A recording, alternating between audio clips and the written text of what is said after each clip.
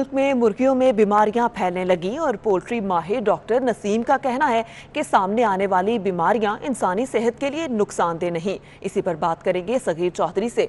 सगीर, बताइएगा, डॉक्टर ने मजीद क्या क्या कहा।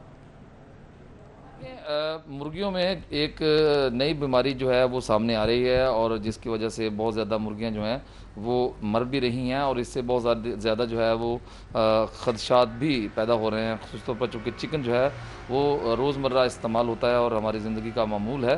तो इस हवाले से जो है वो हमारे साथ मौजूद हैं डॉक्टर नसीम जो कि एक एक्सपर्ट भी हैं। उनसे जानते हैं कि ये बीमारी है क्या? क्या ये अभी नई मुतारफ़ हुई है? ये कोई नई बीमारियाँ नहीं है। ये सब या एक आ रही है, या दो आ रही हैं, या तीन है मिक्स करके आ रही है।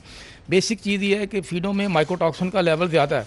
जब माइकोटॉक्सिन का लेवल ज़्यादा होगा तो जब आप वैक्सीन करेंगे तो इम्यूनिटी नहीं बनेगी। इसका कोई साइड इफ़ेक्ट कोई नुकसान, क्योंकि बहुत ज़्यादा लोग जो हैं वैसे खौफजदा भी हो जाते हैं।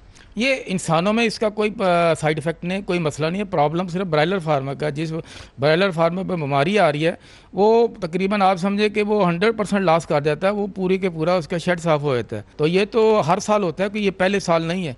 अब क्योंकि इस साल मटीरियल की शार्टेज है, इसलिए ज़रा टॉक्सन लेवल भी वो डालते रहेंगे, आपके पास चॉइस कोई नहीं है। इसका सिर्फ़ नुकसान जो है, वो फार्मर को पहुँचता है, जो कि जो है वो मर जाती है और उसको उसका माली नुकसान होता है। लेकिन जो मुर्गी इस्तेमाल करने वाले हैं उनको इसका कोई साइड इफ़ेक्ट या मुजर असरात नहीं है तो इसलिए हमें इस बीमारी से परेशान होने की ज़रूरत नहीं है। अलबत् ये बीमारी जो है आज की नहीं, डॉक्टर साहब का कहना है कि ये बीमारी कई दिहाइयों से चली आ रही है और इससे जो है वो हज़ारों की तादाद में, लाखों की तादाद में जो मुर्गियाँ हैं, जब इसकी लपेट में आती हैं तो वो मर जाती हैं। जी। जी, सग़ीर, बहुत शुक्रिया आपका।